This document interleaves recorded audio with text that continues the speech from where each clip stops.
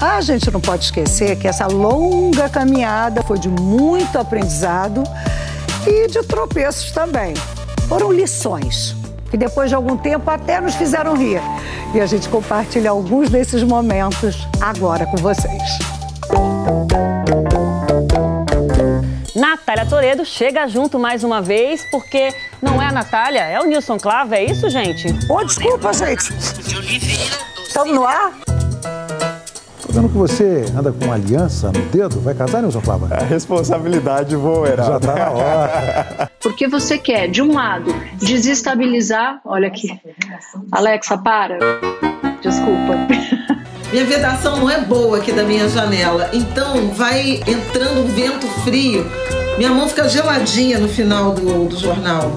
tá no ar, meu amor, tá no ar. Olha, Cris, é, Cris, Cris, Maria. olha, de novo, Imperdoável.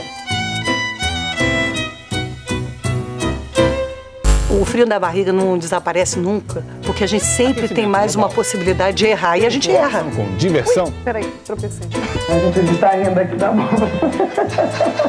Hora de cogumelos, então, no Distrito Federal, produtores a três Especialistas na arte de interpretar os manuscritos, mas no manuscritos.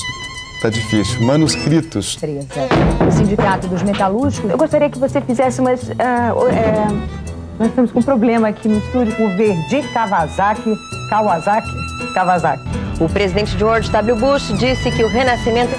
As autoridades iraquianas exigem. Para ver a chegada da seleção masculina de vôlei que está embarcando neste momento em São Paulo. Os bicampeões estão desembarcando, os bicampeões venceram a Polônia na decisão e fizeram um agradecimento aos torcedores brasileiros.